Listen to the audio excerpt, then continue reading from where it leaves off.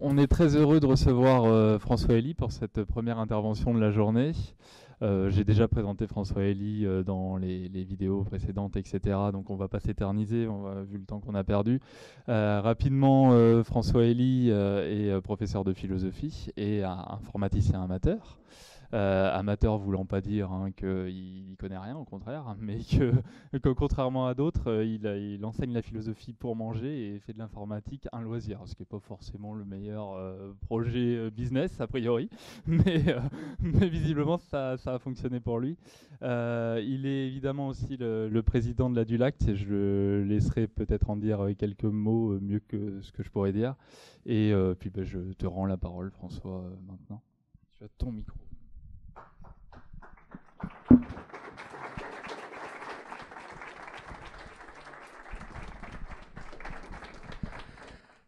Alors bonjour à tous. Euh, alors me présenter un peu davantage.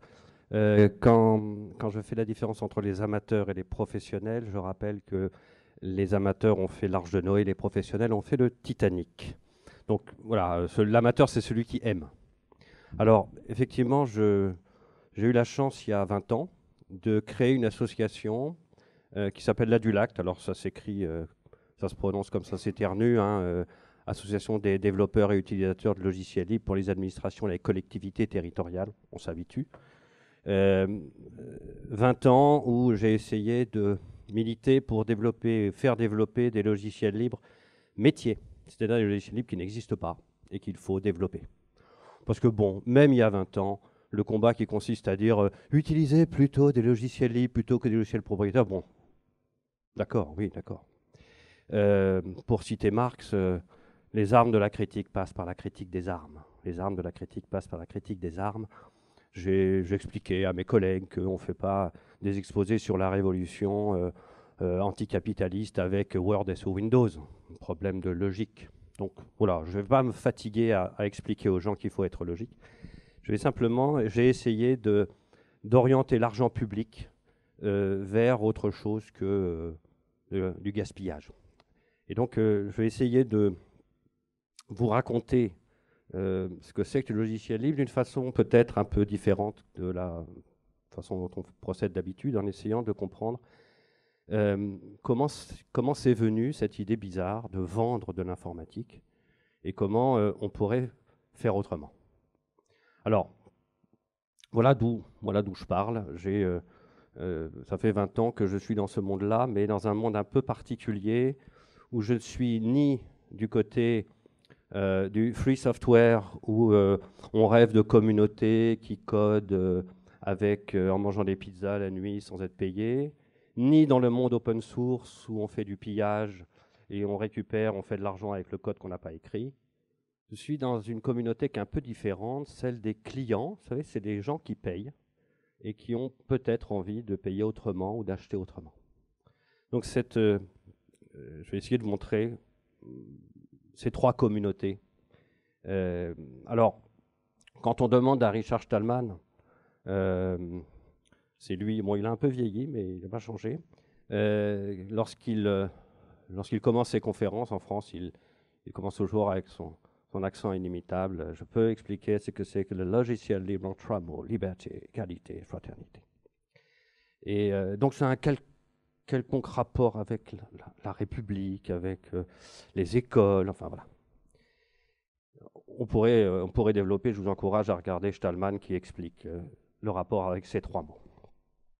Je vais essayer de, balayer quelques sujets. D'abord quelques sujets fondamentaux, essayer de, de comprendre ce qui euh, ce qui se joue euh, dans le numérique en général. Ensuite, essayer de vous raconter un peu d'histoire de l'informatique, ça fait du bien.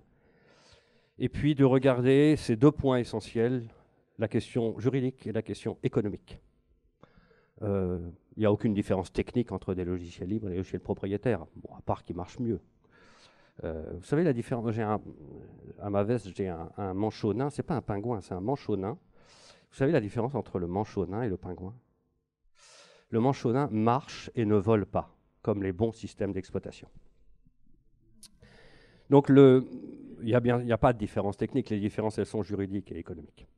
Je, zapperai probablement euh, sur la commande publique et sur le, métier d'informaticien dans les collectivités. Ça n'a pas beaucoup d'intérêt ici. Par contre, j'essaierai de vous dire quelques changements pour changer le monde si j'avais euh, sous la main un parlementaire pour lui suggérer quelques petits changements qui pourraient euh, changer les choses. Quelques fondamentaux. Nous entrons dans la société de l'information. 2004, c'est le moment où les investissements dans les nouvelles technologies ont dépassé les investissements dans l'automobile. On a quitté le siècle de l'automobile qui a transformé euh, la géographie, etc on est rentré dans, un siècle de l'information. Qu'est-ce que ça change? Euh, Les objets qui traitent l'information devraient être des objets dont nous nous préoccupons. Le statut des logiciels devrait être extrêmement important. Tout le monde s'en fout. On regarde, on pirate, on récupère, on achète, on revend. Ah non, on ne peut pas revendre, c'est vrai. En fait, on n'achète jamais, on loue. Et donc la question du 19e siècle, au XIXe siècle, la, grande question, c'est capital-travail. À qui appartiennent les usines? Qui fait travailler les gens? Y a-t-il du travail non payé? Enfin, je dis des choses que vous savez déjà. Aujourd'hui, euh, qui maîtrise les forges sur lesquelles sont développés des logiciels? Tiens, Microsoft a racheté GitHub. c'est intéressant. Qui euh, maîtrise la feuille de route des logiciels? C'est quelque chose de tout à fait fondamental.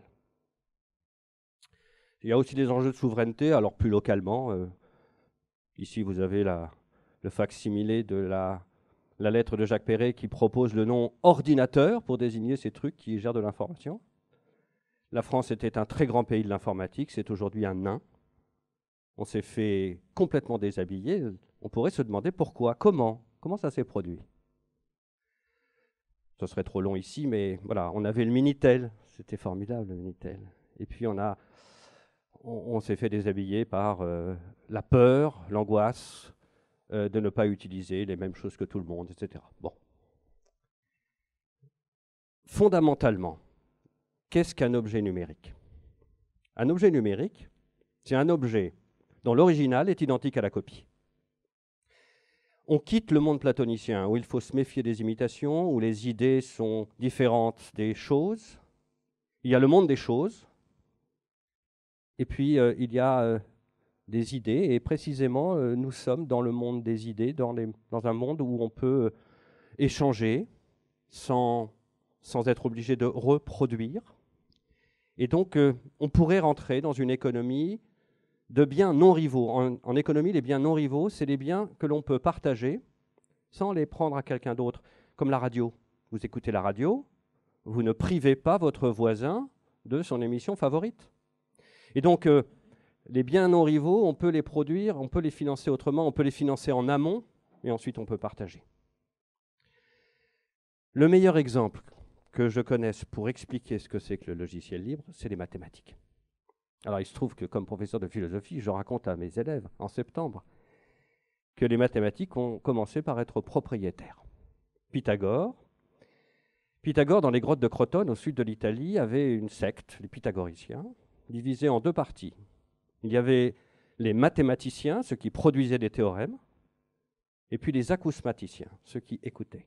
Ceux qui écoutaient derrière un rideau des paroles oraculaires où on leur expliquait comment, euh, si tu veux vérifier qu'il y a un angle droit, alors tu fais des nœuds à une corde, et puis si tu as 3, 4, 5, alors tu auras, tu auras un angle droit. Et puis un jour, quelqu'un, je l'aime bien, il s'appelle passe de Métaponte, a livré le grand secret. Le grand secret, c'est qu'il n'y a pas de secret. Et que tout le monde peut faire des mathématiques. Et aujourd'hui, il paraît évident que nous avons sur les mathématiques les mêmes libertés que celles qui définissent le logiciel libre. Nous pouvons exécuter librement les théorèmes pour tous les usages. On peut même euh, utiliser un livre de mathématiques pour caler une armoire, ça marche très très bien.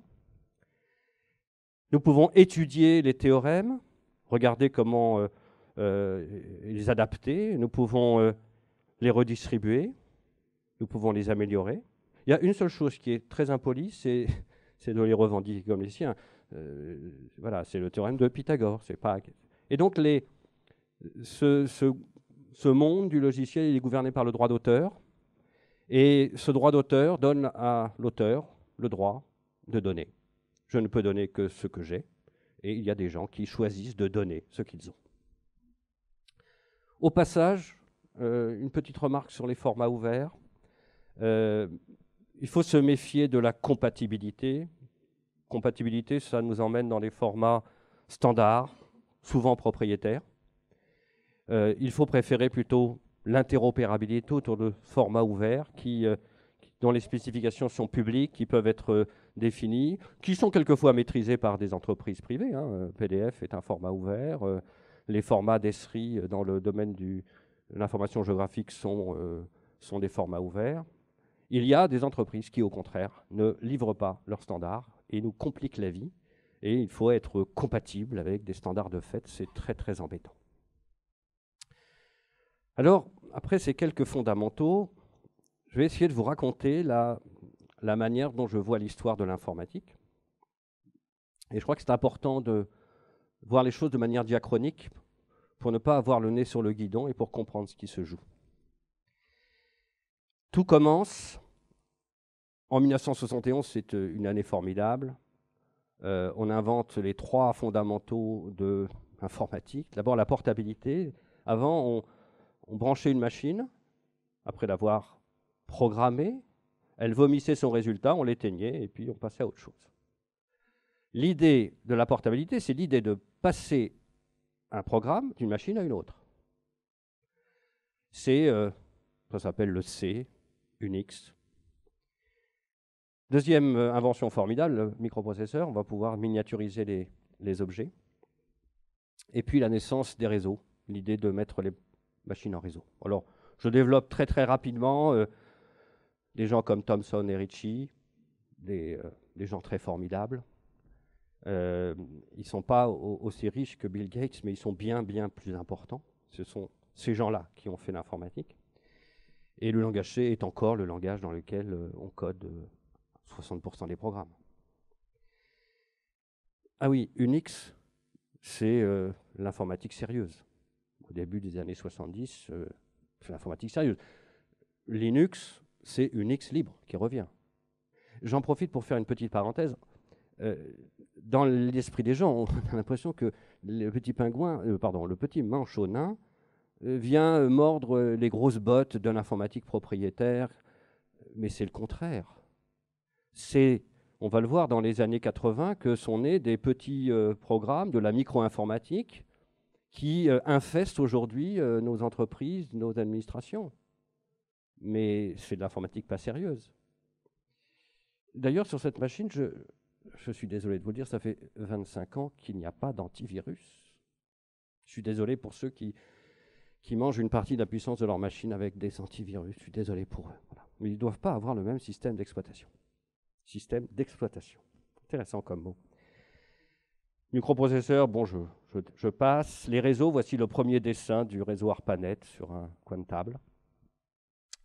Et puis, je le disais à l'instant, milieu des années 80, l'arrivée du PC, on pourrait faire un quiz hein, pour savoir si vous reconnaissez ces machines. Ça, c'est le Z85 Lair, 1 kg de mémoire. J'avais acheté 1 kg de mémoire additionnelle. On se fait peur. Et puis, euh, dix ans après, la planète se met en réseau. Mars 96, c'est le moment où le nombre de machines sur Internet commence à doubler tous les mois. Je ne sais pas si vous jouez aux échecs, mais quand ça commence à doubler, euh, c'est que c'est euh, très rapidement la planète va se mettre en réseau. Et donc les et puis cette planète se met en réseau. Alors pourquoi j'en parle? Parce que dans les URL, vous savez, HTTP slash slash, c'est pas anti-slash, c'est slash. C'est le slash d'Unix. C'est pas l'anti-slash de ceux qui ont essayé de se rendre intéressants en inversant les slash. Voilà. Alors trois personnages qui jouent un rôle très important dans cette histoire. Richard Stallman, 1984, il travaille au MIT et il, euh, écrit au, fabricant de son imprimante, il a le projet de lui faire faire les pieds au mur, il demande le code source du driver de l'imprimante. Et le fabricant refuse en disant non, non, secret de fabrication. Et Stallman euh, comprend très vite que si jamais on ne peut plus accéder au code source, alors l'informatique est perdue. On est dans un monde où on ne vend pas encore d'ordinateurs. Enfin, non, on ne vend pas encore de, logiciels. Qu'est-ce qu'on vend? On vend des ordinateurs et des, informaticiens, des ingénieurs en régie. L'idée de vendre des logiciels ne vient à l'esprit de personne dans ces, moments-là. L'informatique, c'est des maths. D'ailleurs, D'ailleurs, ça se démontre. Il y a un isomorphisme qui s'appelle l'isomorphisme de Curie-Howard qui montre que résoudre un problème de mathématiques et programmer un programme d'informatique, c'est exactement, structurellement la même chose. Et donc Richard Stallman se dit, si jamais on ne peut plus accéder au code source, si on retourne dans les grottes de Croton avant la révolution euh, du savoir ouvert, ouvert par les philosophes, c'est foutu. Donc il crée la Free Software Foundation, il lance le projet GNU, GNU is not Unix, pour essayer de libérer, euh, sous la forme d'Unix libre, euh, de l'informatique sérieuse. Deuxième euh, personnage, alors j'ai deuxième personnage, pour expliquer aussi pourquoi on partage. Tim Berners-Lee au CERN a besoin d'un hypertexte. L'hypertexte est une vieille idée. Euh, Ted Nelson a inventé l'hypertexte dans les débuts des années 60, mais là, il a besoin d'un hypertexte distribué sur plusieurs machines. Et il invente HTML, et HTTP pour le transporter. Et il le donne parce qu'il est chercheur, il est physicien, travaille au CERN. CERN, c'est une des trois institutions qui vont gouverner l'Internet naissant. Il y avait euh, le MIT, le CERN et l'INRIA en France. Les trois institutions qui ont porté sur les fonds baptismaux le, web. Et Tim Berners-Lee eh bien, donne, comme on a donné TCP/IP, le standard, le standard de l'Internet, qui euh, à l'époque où en France on préférait X25 et le Minitel. Et donc, cette habitude de, donner, parce que c'est comme de la science, ça se partage. Parce que la valeur, elle ne se fait pas en vendant la science, elle se fait en partageant la science et en travaillant dessus. Mes élèves qui veulent faire de l'argent, ils ne font pas de philosophie. N'est-ce pas? Euh, Mais ils vont faire des mathématiques et ils savent très bien que les mathématiques sont libres mais que les mathématiciens sont quelquefois un peu chers. On arrive très bien à vivre avec euh, des mathématiques libres. Et puis, euh, troisième personnage, 1991, alors que le projet GNU euh, avance petit à petit, très lentement, Linus Torvalds envoie un, un post sur, news, sur un newsgroup, sur Usenet, et il, il dit, voilà, je suis en train d'écrire un, un système d'exploitation, j'ai déjà le, système de fichiers, euh, le compilateur, est-ce que vous voulez me donner un coup de main? Et à ce moment-là, eh bien, les informaticiens du monde entier vont lui donner un coup de main. En deux ans, le Linux devient euh, équivalent en termes de stabilité aux, Unix propriétaires qui euh, commençaient à se vendre. On, a, on était à ce moment-là, on a commencé à vendre de l'informatique au milieu des années 80. C'est c'est des jeux, des jeux vidéo qui ont commencé. C'est eux qui nous ont contaminés et qui ont donné cette idée folle de vendre du logiciel. Et puis tout le monde s'y est mis. Puis on a vendu des jeux. Windows, enfin des trucs comme ça, des jeux. Et puis, euh, euh, des gens ont, montré qu'une autre informatique était possible, qu'on pouvait faire la même chose et très vite. Euh, dès 94-95, on pouvait acheter un CD d'installer euh, librement euh, une machine aussi solide qu'un Unix. Aujourd'hui, euh, ça fait des années qu'on surveille, aujourd'hui, les 500 plus grosses machines du monde tournent toutes sous Linux. La messe est dite. utiliser certains systèmes pour d'autres, pour des usages autres que pour jouer, c'est une faute professionnelle. Les 32 000 satellites que Elon Musk a envoyés dans l'espace, ils tournent tous sous Linux. Et pas seulement parce qu'on ne peut pas ouvrir les fenêtres dans l'espace. J'ajoute un autre personnage, euh, Eric Raymond. Alors dans ce monde-là, il y a des gens très différents.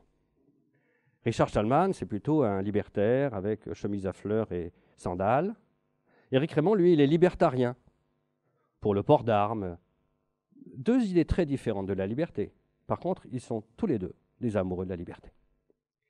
Et il, euh, c'est un très très bon programmeur. Programmateur, c'est pour les machines à laver. Hein. Programmeur, c'est pour les ordinateurs, pour les logiciels. Et un jour, Eric Raymond a reçu une lettre de Microsoft euh, qui voulait l'inviter à travailler pour eux. Parce que Microsoft a acheté GitHub, ils savent très bien qu'un jour, euh, il faudra libérer l'informatique. Ils le savent depuis très longtemps. Eric Raymond, toujours lui, a capturé un jour des rapports qu'on appelle les rapports Halloween. Vous pourrez très, bien, très facilement les retrouver. Les rapports Halloween, c'est des rapports internes à Microsoft qui, à l'époque où euh, Bill Gates était patron de Microsoft, il pose la question à ses ingénieurs. Première question, est-ce qu'il faut se méfier de ce qui ne s'appelle pas encore l'open source, mais est-ce qu'il faut se méfier de free software?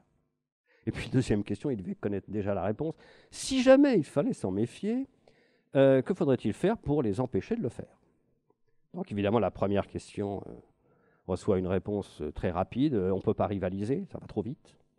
Et deuxième question, que faut-il faire? Eh bien, les attaquer sur le terrain juridique. Il faut les empêcher de le faire. Il faut que ça devienne interdit. Il ne faut pas pouvoir partager. Il faut mettre des brevets. Enfin, il faut faire quelque chose. Donc, je reviendrai sur cet enjeu. Éric Raymond, c'est celui qui a essayé de d'expliquer cette surprise des informaticiens euh, qui travaillent en mode cathédrale, comme, des moines isolés. Euh, je pense, par exemple, Richard Stallman, c'est quelqu'un qui a écrit IMAX. IMAX est un éditeur surpuissant. Il l'a fait quasiment tout seul, en Lisp. Un héros. Euh, Donald Knuth, un des très très très grands gourous de l'informatique, Donald Knuth a écrit Tech, ce qui a donné la tech. Tech, quasiment tout seul. Donc ça, c'est le mode cathédrale. On pourrait peut-être diviser en projet sous projet. Euh. Mais il y a un autre modèle, qui est le modèle du bazar, euh, il se trouve que Eric Raymond s'est retrouvé en charge d'un projet, euh, pas développé, c'est un projet euh, qui concerne les circulations de mails sur les, sur les réseaux. Et il observe qu'il a affaire à des gens qui programment aux quatre coins de la planète. Et il se dit, mais comment c'est possible que ce bazar puisse être plus efficace, plus solide, plus pérenne que d'autres modes de développement? Et donc, euh, c'est intéressant de, lire ça. Et puis, sur les modèles économiques, euh, je vous encourage vivement à, lire son autre article, Le chaudron magique, qui essaie de comprendre comment, comment faire de l'argent avec du gratuit. Qu'est-ce que c'est que ce chaudron magique qui produit de la valeur en partageant des objets? Alors, après avoir vu cette, revisiter cette histoire et surtout rappeler que Surtout rappeler que c'est une aberration de vendre des logiciels, que c'est quelque chose de transitoire, que, bientôt il n'y en aura plus. Il y a quelques années, j'étais invité à une table ronde et j'avais comme avec moi un personnage qui était un des responsables de l'informatique européenne propriétaire. Et le, journaliste tend le micro et me dit euh, Comment voyez-vous l'informatique dans dix ans? Et je réponds je pense que dans dix ans, il n'y aura plus de logiciel propriétaire. Et alors, le journaliste très très content tend le, micro à l'autre et lui dit Que répondez-vous à cette provocation? Et il répond Moins de dix ans. Autrement dit, ils savent qu'on fait la dernière levée, euh, parce qu'il y a des gens qui ne savent pas bien jouer, donc euh, on fait la dernière levée et puis on ratisse tout le monde. Mais en réalité, euh, il faudra revenir sur cette idée absurde de vendre des logiciels. Alors, quels sont les enjeux juridiques? En fait, si on regarde bien, les logiciels libres qui donnent tous les droits de redistribuer et peut-être même interdire de refermer, ces logiciels, alors on pourrait détailler entre logiciel libre et open source, euh, cette dualité est très très utile historiquement pour que le, développement collaboratif euh, contamine le développement euh, propriétaire cette ambiguïté, ces doubles licences sont très intéressantes. Mais en réalité, ce qu'il faut voir, c'est euh, que les, bibliothèques, les libraries sont euh, ouvertes parce que les gens en informatique détestent réinventer la roue. On ne va pas refaire ce qui a déjà été fait. Un mathématicien, la première chose qu'il fait quand il veut résoudre un problème, c'est de savoir si quelqu'un l'a déjà résolu. Et il arrive que on tombe sur des os, sur des os, et qu'on arrive finalement euh, à trouver quelqu'un qui a le même problème que nous. À ce moment-là, on se tutoie, on le fait ensemble, on va le résoudre ensemble. Mais l'idée de réinventer la roue est insupportable. Donc, euh, juridiquement, on va s'arranger pour trouver les moyens de ne pas réinventer la roue. Alors, ce signe, copyleft, eh bien, c'est celui qui traduit cette idée que je disais tout à l'heure, euh, le droit d'auteur, le copyright, quasiment pareil, mis à part euh, le droit moral, mais cette idée que je suis détenteur du, euh, je suis titulaire de l'autorité sur le logiciel, c'est moi qui modifie, c'est moi qui décide, qui arbitre les évolutions, eh bien, je peux aussi, parce que c'est à moi, je peux le donner. Et je peux même empêcher quelqu'un d'empêcher de le donner. Alors, euh, comment on peut faire de l'argent bah, Il faut le vendre très très cher la première fois, puisque vous ne pouvez pas empêcher ensuite de, le donner. ça nous emmènerait trop loin, mais je pourrais vous expliquer toutes les stratégies pour essayer de, de vendre quand même en faisant du chantage auprès des gens. Mais ne le partagez pas trop, vous n'y avez pas trop intérêt. Enfin, ça nous emmènerait trop loin. En fait, sur le terrain juridique, il y a trois types de licences sur des logiciels libres. Il y a des logiciels libres qui sont sans copyleft du tout et qui vont euh, permettre d'être mélangés avec d'autres logiciels. Par exemple, toutes les bibliothèques euh, euh, JavaScript sont dans des licences très permissives, type MIT, qui permettent de les mélanger à n'importe quoi. Et là, c'est typiquement des bibliothèques qui ont le même statut que les mathématiques. On, en fait ce qu'on veut. on peut même les revendre. Après, il y a des copyleft faibles qui permettent de faire ce, chemin entre ces deux mondes, entre le monde propriétaire et le monde libre, qui permettent euh, que ce soit un peu la même informatique. Et puis du copyleft fort qui a pour vocation d'être, euh, alors on peut dire contaminant, ça c'est la, vision euh, qu'ont les gens du propriétaire, comment c'est comme un, comme un virus, comme une maladie? Non, c'est en fait c'est un, moyen de tout ce que je touche devient, devient libre, tout ce que je touche devient partagé. Je reviens un instant sur un événement majeur. En juillet 2005, s'est produit à Strasbourg un vote historique. La Commission européenne avait pour projet de présenter un processus de brevetabilité du logiciel en Europe. Ça n'intéressait personne puisque la majorité à l'époque du Parlement avait laissé ça à l'opposition. Et Michel Rocard s'est retrouvé avec ce dossier sur les bras. Heureusement, quelques-uns, dont un Bordelais qui s'appelle François Pellegrini, a convaincu Michel Rocard que c'était très important. Que c'était un petit peu comme si on voulait breveter les mathématiques. D'ailleurs, Donald Knutt, quand il a écrit euh, à l'Office américain des brevets, il a utilisé cette analogie avec les mathématiques en disant c'est un petit peu comme si on voulait breveter le théorème de Pythagore. On ne pourrait plus faire de mathématiques si on devait payer à chaque usage du théorème de Pythagore. C'est absurde. Et euh, Rocard euh, se bat comme un chien pour défendre l'idée qu'il ne faut pas breveter le logiciel. Euh, juillet 2005, la directive est, repoussée. L'informatique européenne est sauvée. Et vous avez ici la photo de la bataille navale les parlementaires sur la passerelle du Parlement européen ont vu euh, les riches qui euh, défendaient les brevets et puis euh, les geeks avec des t-shirts jaunes qui avaient pris tout ce qui pouvait flotter à, Strasbourg et on voyait bien que c'était que les brevets ça tue l'innovation et c'est pas du tout quelque chose qui est demandé par les gens qui inventent, pas du tout.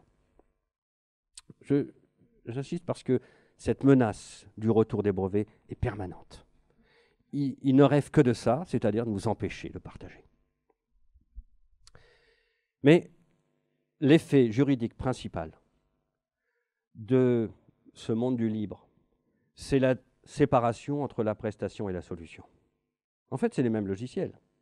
Mais lorsque on se fournit dans un marché public ou dans une entreprise, se fournit dans un logiciel, eh bien, on achète une solution, et puis on se verrouille avec une entreprise qui va euh, assurer du service, de la maintenance, de l'évolution de cette solution. Et quand l'entreprise est mauvaise, eh ben, on change de solution. C'est idiot. On ferait mieux de garder la solution et de prendre une meilleure entreprise. Et donc, euh, l'effet juridique majeur du logiciel libre, c'est de séparer les deux. le logiciel n'appartient pas à une entreprise, il appartient à tous, et une entreprise peut très bien faire de l'argent il y en a qui font beaucoup d'argent en faisant euh, du service sur des logiciels parfaitement ouverts. Pour un exemple, PostgreSQL, qui est un système de base de données euh, concurrent, euh, équivalent à Oracle, ben, c'est libre. Vous pouvez l'installer librement, aucun souci. Par contre, je vous assure que payer quelqu'un qui est capable de vous administrer une base PostgreSQL, ça coûte des sous. Comme, comme acheter un bon, un, bon mathématicien, un prof de maths, il ne fait pas ça gratuitement la nuit en mangeant des pizzas. il vend ses cours. Alors ma spécialité dans ce domaine, c'est de regarder quels sont les modèles économiques. Parce que je reviens au fondamental des biens non rivaux. Si le monde du numérique, c'est un monde où les objets se diffusent à coût marginal nul, si à la différence des objets physiques, on, peut copier sans reproduire, on produit une fois, puis ensuite on partage. Alors bien sûr, il y en a qui vont me dire oui, mais alors ça fait fumer les ficelles, les réseaux se fatiguent. C'est l'épaisseur du trait. De la même façon que euh, ça fait vibrer l'air de, donner des idées à quelqu'un, bien sûr, bien sûr, mais c'est l'épaisseur du trait.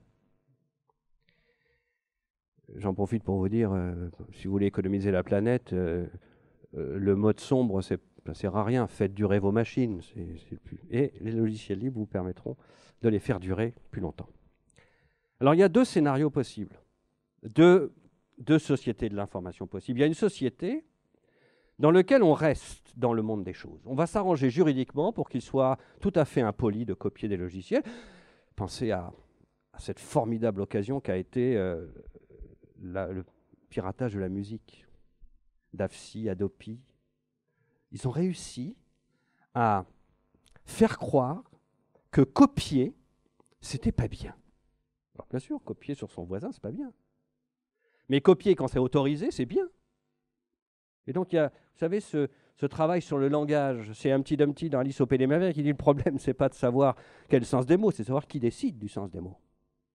Et de la même façon qu'ils ont inventé le mot numérique pour faire disparaître le mot informatique. Alors, numérique, ça ne s'apprend plus, bien sûr, parce que vous avez eu des cours d'informatique intra-utérin.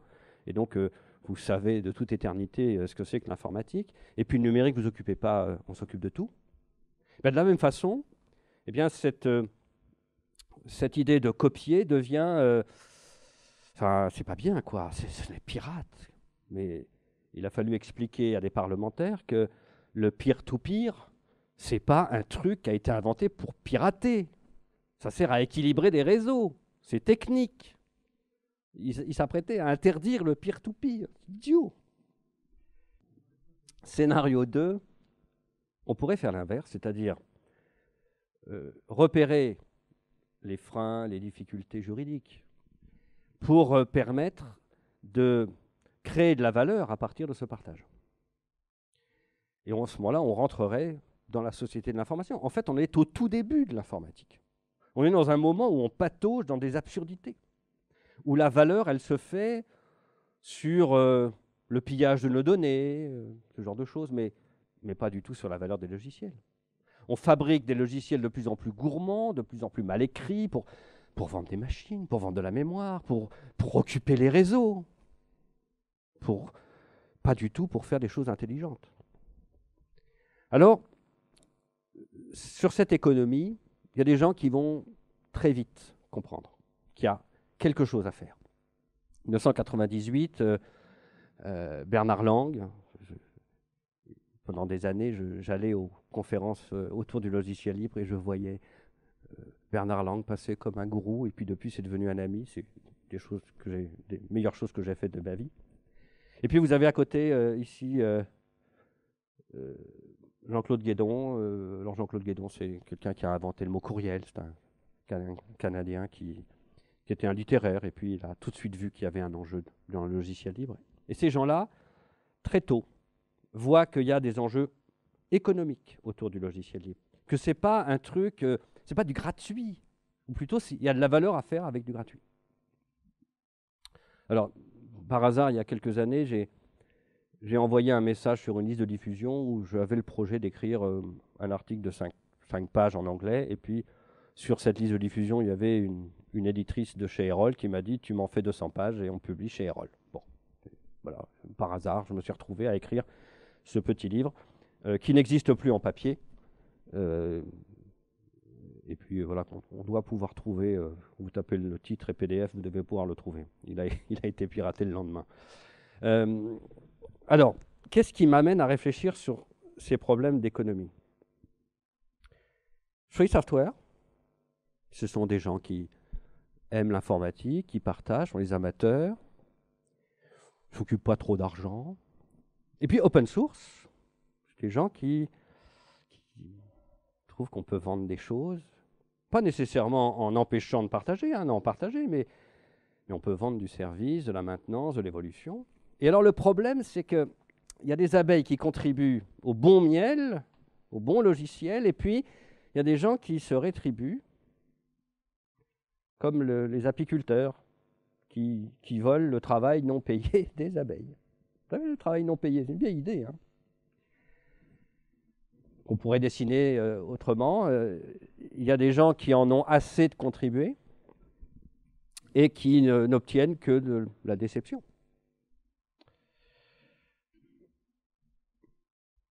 Oui, alors il y a, des gens qui ont lu, qui ont lu Proudhon, donc ils, voilà. En fait, si on veut comprendre ce qui se passe en termes d'économie, il faut être un peu informaticien et savoir qu'en fait, il y a trois types d'informatique très différentes.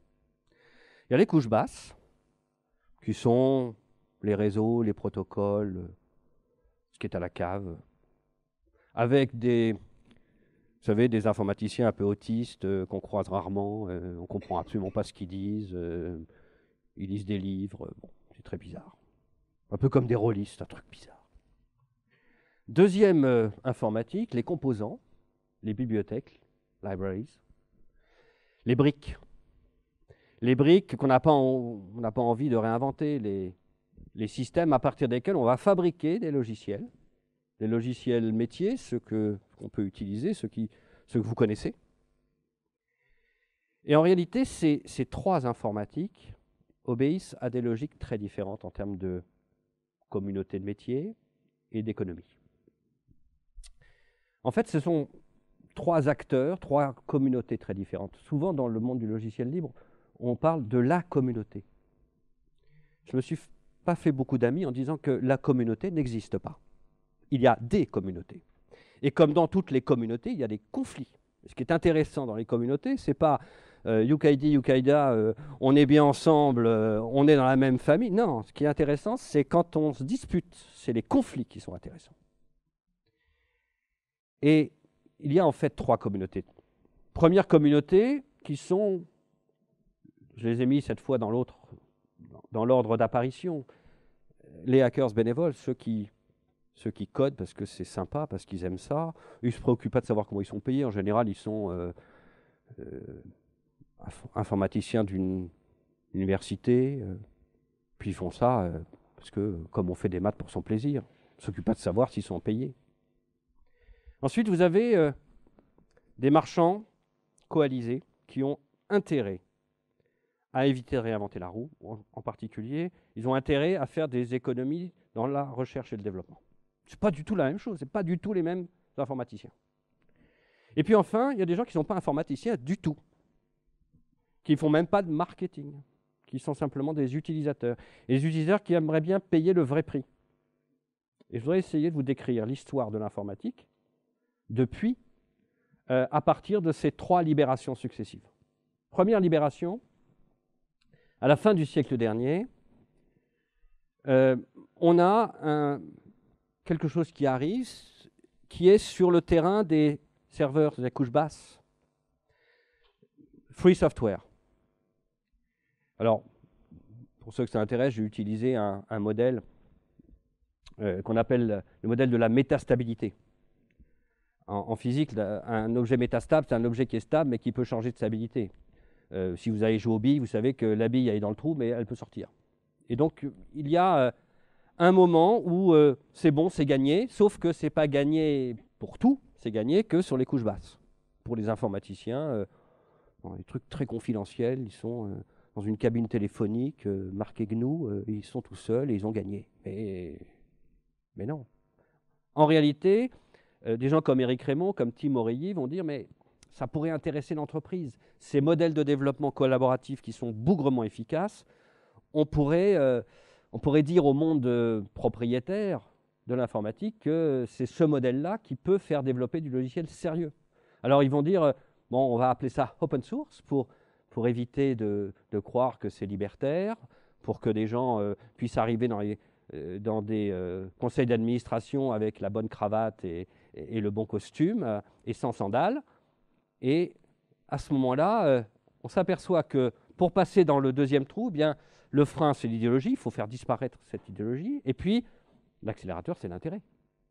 Alors qu'est-ce qui va se passer dans ce premier moment? Ben voilà, euh, Les hackers bénévoles, c'est des gens comme ça qui, euh, qui codent parce qu'ils aiment ça.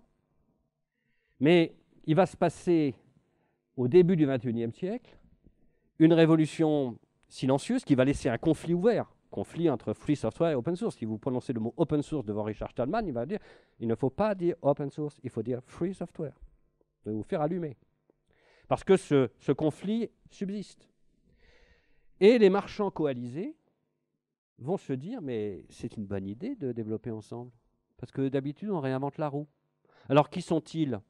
Eh ben, Par exemple, à la fondation Apache, qui travaille sur euh, Java, XML, vous avez des gens qui payent 60 000 dollars pour pouvoir s'asseoir au board et faire travailler leurs ingénieurs ensemble.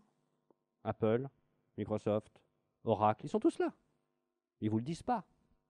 C'est ce qu'on appelle de la coopétition. Ils coopèrent pour fabriquer des armes, puis ensuite, bah, ils s'entretuent sur le marché, avec les mêmes armes. Ils ont fait des économies en fabriquant ensemble des choses qui sont moins chères que s'ils les inventaient, s'ils les développaient séparément. Deuxième exemple, OW2. Euh, Orientware a rencontré ObjectWeb et ils ont fait ensemble. Ils ont mutualisé la mutualisation. Et vous avez ici des, entreprises, très grosses entreprises, qui euh, travaillent ensemble. On a l'impression qu'ils sont concurrents, mais en fait, ils coopèrent sans arrêt. Et puis, et puis, euh, il y a les clients. Parce que jusqu'à présent, ça ne change rien. Le propriétaire est fait à base d'open source, il a le goût de l'open source, la saveur de l'open source, mais le prix du propriétaire. Ça ne change rien pour les clients.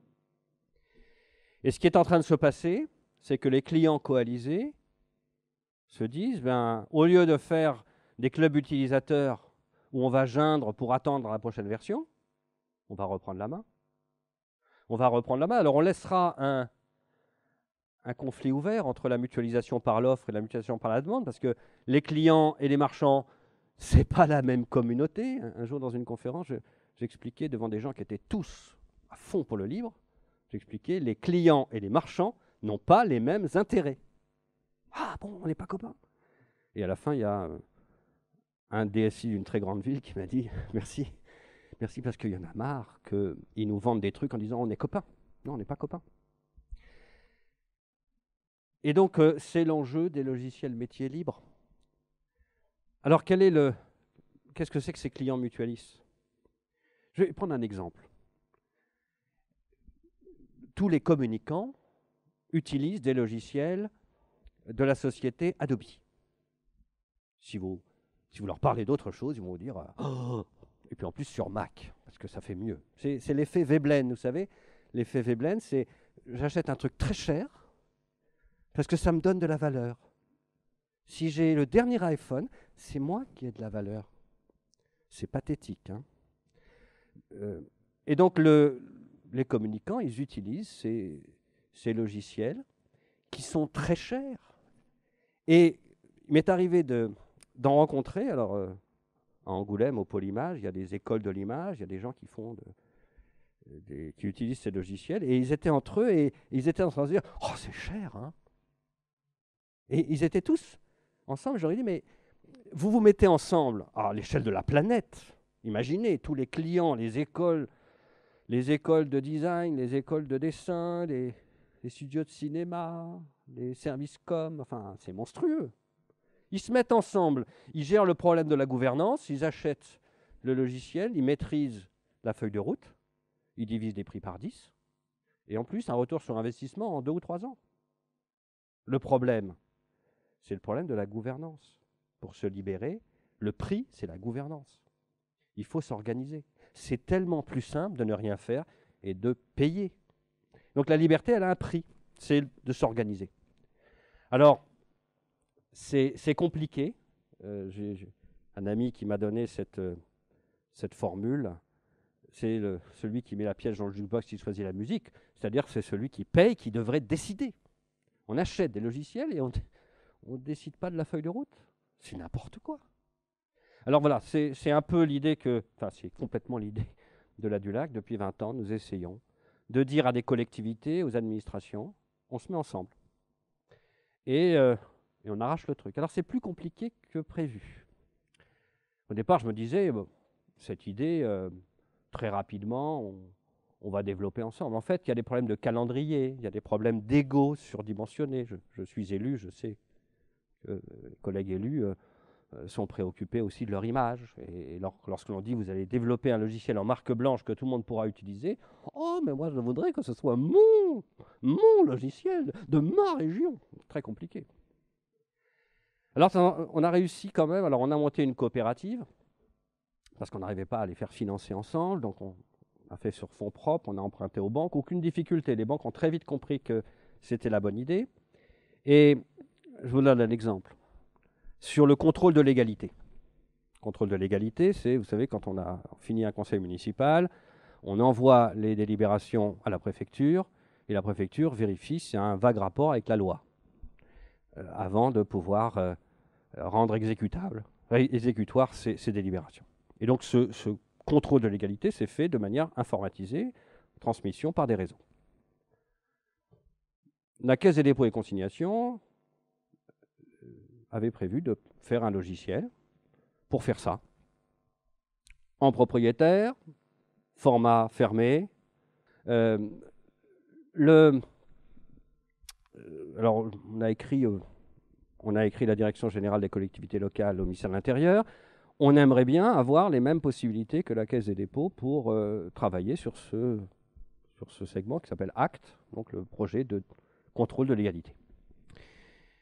Et réponse polie, vous êtes gentil, mais enfin, vous êtes des nains.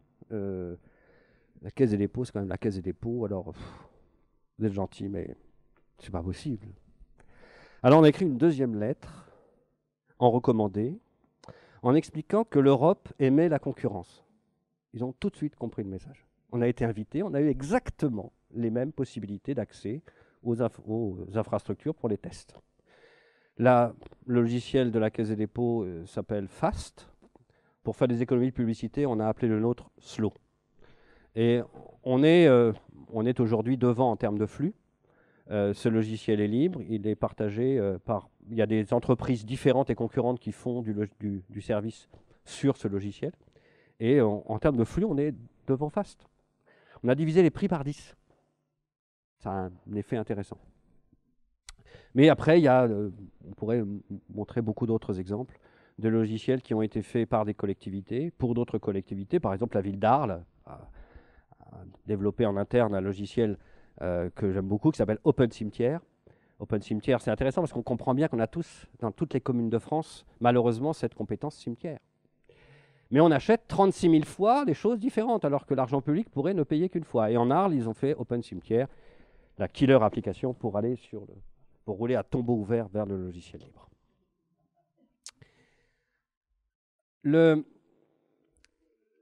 Ces trois communautés, le problème essentiel, c'est de les faire travailler ensemble. C'est trouver le moyen de mobiliser les gens qui ont envie de coder sans les décevoir, de mobiliser les gens qui ont envie de, faire de la R&D ensemble euh, en essayant de mobiliser leur énergie et pas simplement les arrosant de subventions. Euh, dès qu'on me demande de participer à un projet pour euh, demander des sous, je dis non. Euh, on n'est pas l'argent public n'est pas la vache à lait pour subventionner les entreprises. Il faut s'organiser pour qu'ils aient intérêt à faire bien. Et puis la communauté des clients. Mais c'est comme cette image des nœuds borroméens. Si un des anneaux marche pas, tout s'effondre. Et donc le problème de l'informatique libre, c'est pas de claquer des doigts en disant allez on va libérer tout. Non, c'est il va falloir changer les habitudes, changer euh, les habitudes de développement, de marketing, d'achat, et tout ça c'est euh, c'est un peu compliqué. Alors j'avais prévu de faire un focus sur la commande publique. Combien il me reste de temps? Je n'ai pas regardé. non, mais alors très, très rapidement sur la commande publique. on a vécu dans les collectivités, c'est principalement le segment qui m'occupe, trois moments. Il y a un moment, c'est l'âge du spécifique, où tout le monde euh, code, chacun dans son coin. Et c'est catastrophique parce que euh, on réinvente la roue, personne ne travaille pour nous, on ne travaille pas ensemble, on est séparés, les réseaux n'existent pas encore. Enfin, ceux qui se souviennent de cet âge s'en souviennent avec effroi. Et par bonheur, on voit arriver le progiciel. Des gens font des trucs pour nous, des trucs qui marchent. Il n'y a plus besoin de coder. Plus besoin de coder. Aujourd'hui, vous savez, le, monde de l'informatique, enfin du procurement d'informatique, c'est en général maintenant, c'est quelqu'un qui ne sait pas ce qu'il vend, qui vend à quelqu'un qui ne sait pas ce qu'il achète. Et ce qui est terrible, c'est que nous sommes dans un monde où il y a des gens qui ont fait Bac plus 4 en informatique et qui font des devis ou des factures. Mais ils ne touchent plus au clavier pour coder, ils n'aiment plus coder. Enfin, pourquoi on fait de l'informatique? Voilà, je referme la parenthèse, c'est effrayant. Alors, euh, c'est très bien, le logiciel, ça, mutualise pour nous par l'offre, malheureusement. Très très vite, ça installe une situation de client captif, où le, le marchand fait ce qu'il veut, euh, décide de manière unilatérale d'abandonner le support sur euh, XP pour vendre autre chose. De décider, c'est Oracle qui décide de... Oh ben maintenant, on va compter les licences d'Oracle sur le nombre de processeurs. Vous n'aviez pas prévu, tant pis.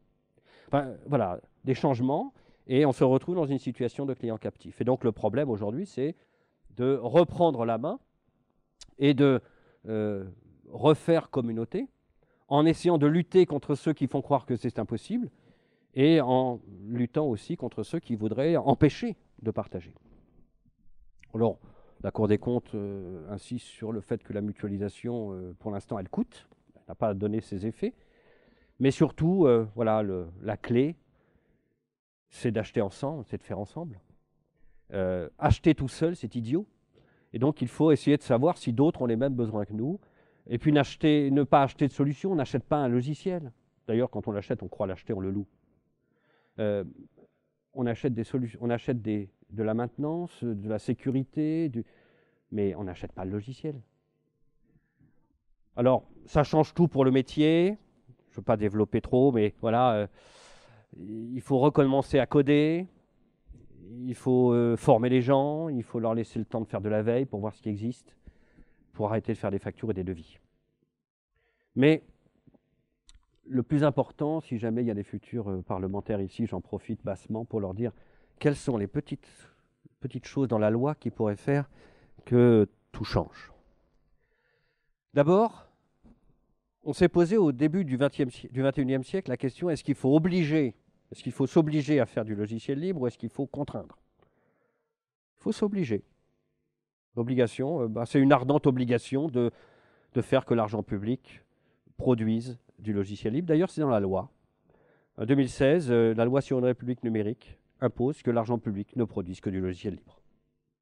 C'est dans la loi. Le problème, c'est qu'il faut l'expliquer. Euh, la loi, il faudrait la lire, il faudrait l'appliquer. Bon, voilà, ça, c'est très très long. Un truc tout bête. Publier les connecteurs, obliger de, à publier les connecteurs entre des logiciels pour éviter que les clients les repayent 50 fois. Euh, la plupart des entreprises vendent des trucs qui sont déjà vendus 10 fois, 100 fois, avec des marges qui sont euh, à plus de 90%. C'est formidable. Euh, on pourrait faire des déclarations d'intention d'appel d'offres pour décourager ceux qui achètent tout seuls. Comment vous avez acheté tout seul et alors que les autres avaient le même besoin que vous? C'est ce qu'ils commencent à faire, ce qu'ils commencent à faire dans l'État. Euh, la DINUM, la DSI de l'État, euh, regarde les grands marchés pour dire attendez, vous n'allez pas acheter deux systèmes qui font la même chose. Petite, toute petite, euh, tout petit changement qui aurait de gros effets. Actuellement, quand on achète un logiciel, un logiciel qui est en fait une location, eh bien, on le paye en investissement, comme si c'était euh, quelque chose qui était du patrimoine. Et quand on, fait développer du logiciel libre, qui est en fait du vrai patrimoine, on le paye en fonctionnement, ce qui est une, horreur pour les, élus, euh, parce que euh, moins on paye en fonctionnement, mieux on se porte. en fait, il faudrait faire l'inverse. C'est de la location, fonctionnement. C'est du patrimoine Investissement. Et à ce moment-là, par intérêt, je crois beaucoup à l'intérêt, par intérêt, eh bien, ils, vont faire propre. L'intérêt, c'est redoutable. Hein. Euh, à Angoulême, je m'occupe des RH. Et je, remarque que pour euh, l'emploi des travailleurs en situation de handicap, euh, la peur de l'amende a rendu les gens extrêmement philanthropes. De la même façon, pour la construction de logements sociaux, l'inquiétude de payer l'amende a rendu philanthrope.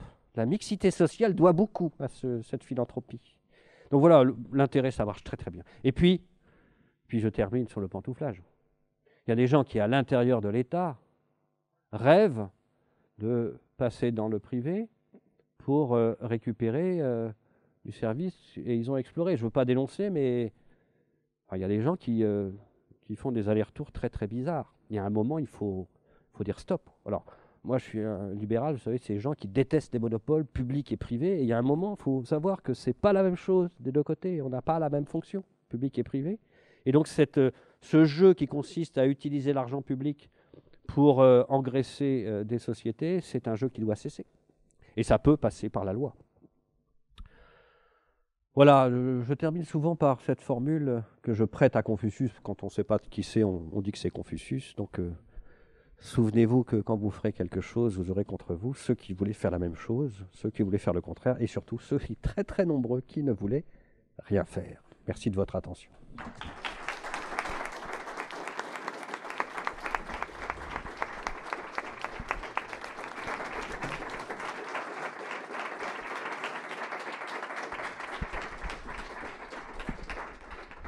Euh, bonjour. Euh, oui, en fait, euh, j'ai écouté attentivement ce que vous avez dit euh, sur l'open source et la différence avec le logiciel libre. Donc, bah, je découvre votre travail, donc je, vais poser la question sans avoir la réponse. Mais par exemple, il y a la fondation Blender, parce que moi je travaille dans le dessin animé, donc j'ai beaucoup à faire au cas où vous avez parlé. Et en fait, donc typiquement, de ce que j'en sais, je crois que c'est de l'open source. Pourtant, leur modèle économique a l'air d'être basé sur les dons. Est-ce que ça correspond pour vous au cas de figure que vous évoquez, c'est-à-dire qu'on loue euh, sans arrêt euh, ce qu'on. Enfin, que c'est pas vraiment pour tous leur logiciel ou est-ce qu'il est vraiment pour tous? J'arrive pas bien à faire la, oh, la distinction entre les deux en fait. Alors, si on, si on regarde les, les licences, euh, Blender fait partie des grands logiciels libres. il est dans les distributions. Si vous avez un Ubuntu sur votre machine, vous faites apt-get install Blender, bah, il descend sur votre machine. Donc c'est du logiciel libre. Le problème dans toutes les communautés qui pilote du développement, c'est d'assurer la pérennité du logiciel. Donc il y a beaucoup de très grands logiciels, Blender fait partie des grands logiciels comme LibreOffice, euh, vont essayer de s'adosser à des fondations qui vont essayer de drainer des fonds. Euh, LibreOffice euh, draine des fonds qui vont venir de collectivités, de grandes entreprises, qui ont intérêt à ce que ça continue à exister. Euh, moi je ne sais pas pour vous, mais j'utilise beaucoup Wikipédia. À tout hasard, pour que ça continue d'exister, j'ai mis un virement automatique sur la fondation Wikimedia. Ce n'est pas très douloureux, hein, 10 euh, euros par mois pour que ça continue d'exister. Et voilà, alors tous les gens qui utilisent Blender ne le savent pas et ne le font pas. Mais il y a beaucoup de gens qui ont intérêt à ce que Blender continue à exister et, donc qui financent. Les modèles de financement de ces logiciels sont extrêmement variés. Mais ils ont tous cette idée de pérenniser le, logiciel en sachant qu'il va falloir payer des gens et que ça ne pousse pas sur les arbres et que ce n'est pas avec une communauté de bénévoles que l'on assure la pérennité du logiciel. Donc c'est pour ça que j'insiste sur, sur le fait que ces communautés sont des communautés d'intérêt et qui n'ont pas les mêmes intérêts. Le, euh, le end-user qui va utiliser Blender ne se rend pas compte de tout ça. Il attend la prochaine version, il a l'impression que ça pousse sur les arbres. On va pas le lui reprocher, on va pas lui demander d'acheter une licence. Par contre, on va demander euh, aux gens qui font euh, un film qui rapporte de l'argent avec Blender, ben, vous avez intérêt à, ce que ça continue d'exister. Donc, cracher au bassinet. On leur, leur, impose pas, ils vont trouver que c'est leur intérêt que ça continue d'exister. Alors, il y a des modèles plus ou moins vertueux. Euh, il y en a qui mettent des, qui utilisent des doubles licences avec une licence community et puis une licence corporate. Bon, mais le problème est toujours le même, c'est comment financer ce qui va être ensuite offert. Euh, bonjour Monsieur Elie, euh, encore bravo pour votre, pour votre conférence. Je peux vous dire, je ne connaissais pas du tout le sujet, je le connais encore moins, mais au moins je vois les problèmes que vous avez Ah bah, soulevés. si vous le connaissez encore moins, j'ai raté je mon dire- coup. Je veux dire que je suis pas du tout, euh, je m'y connais pas dans tout ce qui est open source, etc., tout ce qui est logiciel, mais au moins vous avez soulevé des, des problématiques très intéressantes. Et justement, euh, pour une question un peu plus politique, vous avez réussi euh, l'exploit de me faire dire à moi et aussi à Loïc merci Michel Rocard, ce qui est quand même pas mal, bravo. hein. Mais euh, justement, pour rester sur l'Union européenne, est-ce que depuis cette, on va dire cette loi Rocard concernant les logiciels, est-ce que la position de l'Union européenne a changé? Est-ce qu'elle s'est dirigée vers un côté, un autre? Vu que vous traitez aussi de souveraineté, bon, en l'occurrence plus nationale en ce qui concerne euh, tout ce qui est euh, gaspillage d'argent, etc.. Mais au niveau européen, est-ce que l'Union européenne, est-ce que le Parlement, est-ce que la Commission européenne euh, a une politique sur justement tout ce que vous venez de traiter? Merci. Alors la réponse est oui. Lorsqu'on a... vais parler au tout début très rapidement des forges, c'est-à-dire des endroits où on développe du logiciel.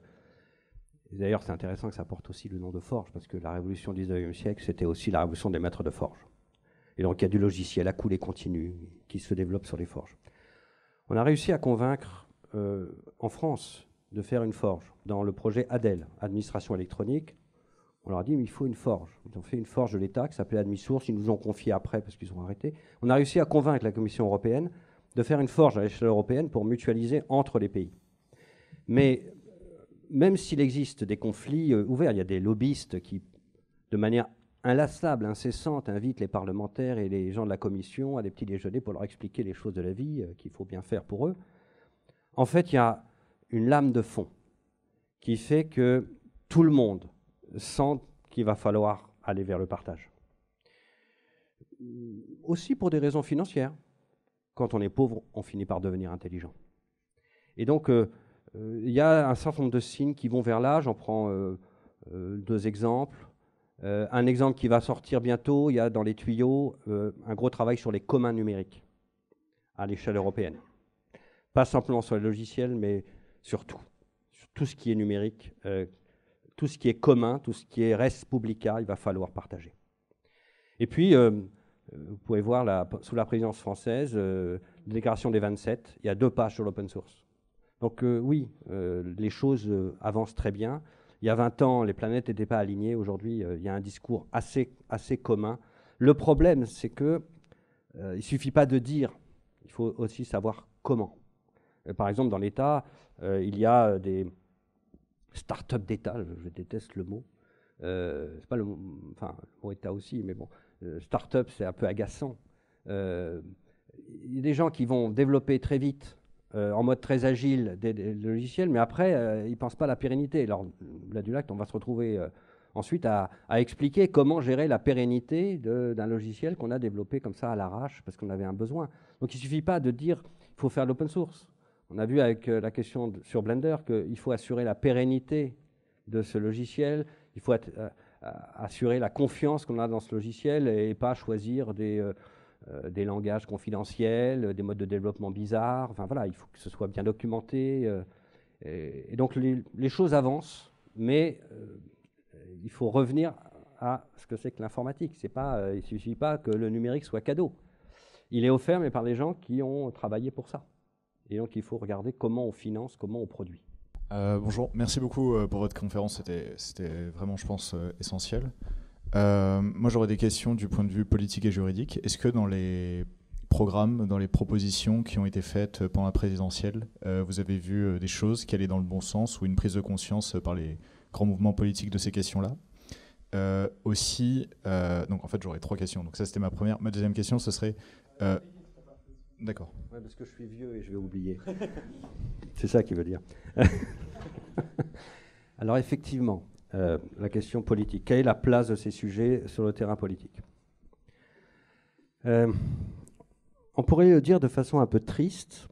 Au, début de, ce combat, au début du, 20e, du 21e siècle, il y avait des gens dans les parlements, euh, à l'Assemblée nationale et au Sénat, des gens qui étaient à la fois, qui avaient le bon niveau en, informatique et surtout en vision. Je ne suis pas dit que les gens n'avaient plus le même niveau, mais par exemple, euh, quand j'ai rencontré le sénateur Lafitte, sénateur Lafitte, c'est Sophia Antipolis, c'est la réforme de, euh, de l'enseignement à l'école centrale.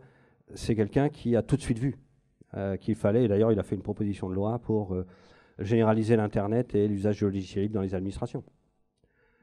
Des aujourd'hui, on peut dire que c'est le désert. C'est-à-dire qu'il n'y a plus cette, vision. Euh, il y en a quelques-uns. Il y a quelques-uns qui euh, découvrent la roue, qui disent. Euh, alors, moi, je vais leur envoyer mon livre en disant Ça fait 20 ans qu'on est dessus. Donc, c'est. Aujourd'hui, on pourrait se dire on est déçu que c'est plus dans les programmes politiques. J'allais dire c'est pas très grave. C'est pas très grave, tant pis pour eux.